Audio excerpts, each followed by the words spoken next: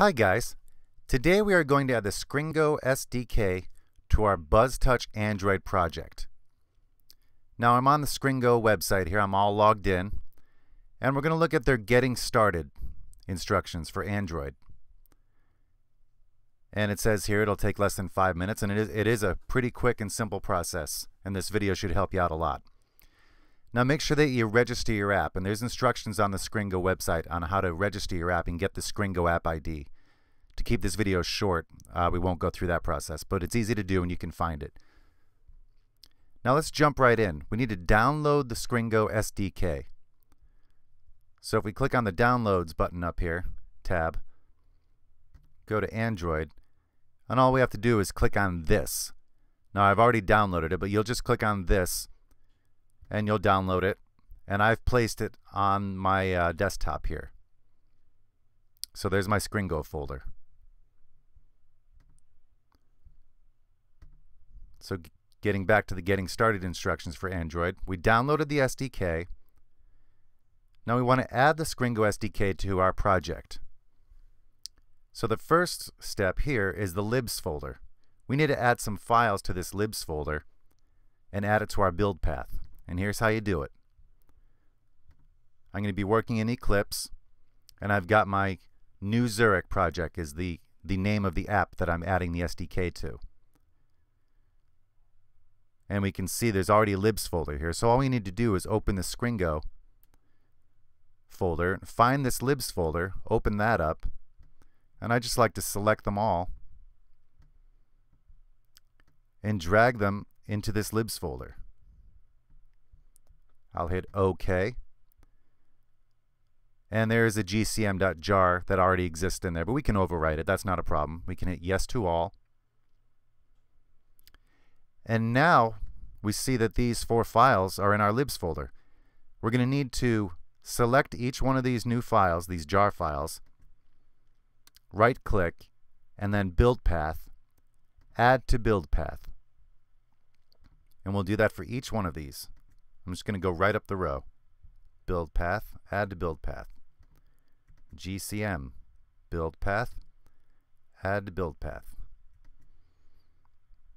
And so on. So we've got all four of those done. And that's all we needed to do for that step.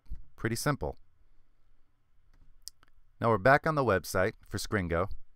And it says here we need to add this Scringo resources folder to our workspace. See, here's how you do it. We're back in Eclipse. I'm going to hit File, Import, Existing Projects into Workspace. We'll go to Browse. And I'm already in the Scringo Resources folder, but if it was on my desktop, it would look like this.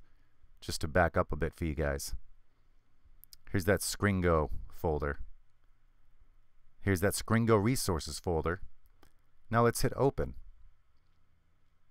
And all we want to do is click Finish.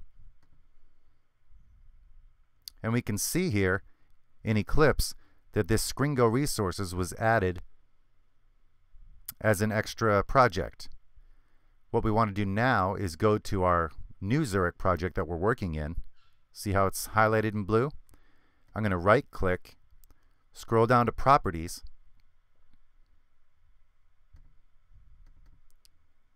I'm going to hit Add. We're in the Android tab here. Now let's click Add. And we can see here that we can add this Scringo resources as a library. So we're going to select that, hit OK, and we get a little green check so we know that it's referencing as a library there. So I'm going to hit OK. So let's go back to Scringo. Let's look at the next step now. Scringo properties it says we need to add this file to our assets folder. So let's go take a look at that. We're back in our Scringo folder. And here's this Scringo's property dot properties file. And we need to add it to our assets folder. So I'm going to just drag that in here. Hit OK.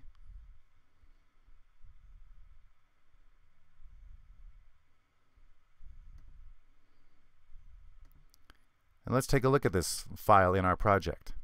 And here's that Scringo app ID that you'll need. And there's also this Facebook app ID. And you can go to the Scringo website or post on the BuzzTouch forum on how to fill in these fields as well. But I'm going to grab my Scringo app ID really quick from the site here. I'm going to go to My Apps. And here's my little ID here. It's not a working app, so I'm not worried about that ID. But anyway, I've just added that to my assets. So let's move on to the next step.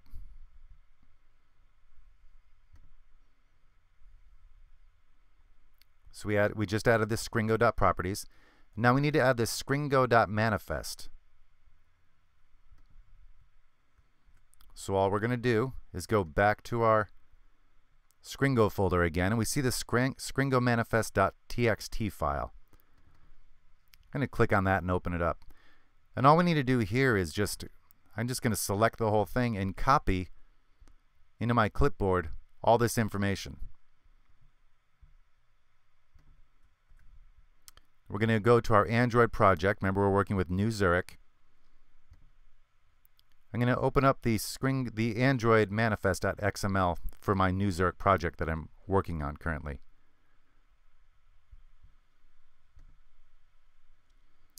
And I can just paste. Let me find a good line on here to add it.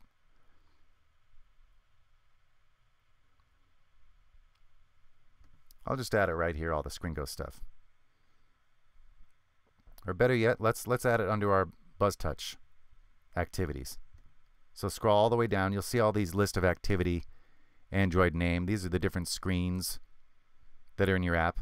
But all those files, all this text here that I just copied to my clipboard from the Scringo manifest, I'm going to just paste right here. And that's all we have to do. We just added all those little activities to our manifest. So let's go back to the Scringo website and see what the next step is.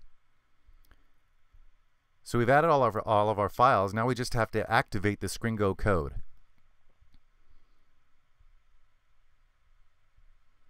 So I'm going to go back to Eclipse. And here's here's the one of the main things you want to look for. In the source folder, we're going to be adding Scringo to our BT activity root tabs file. So I'm going to close these folders.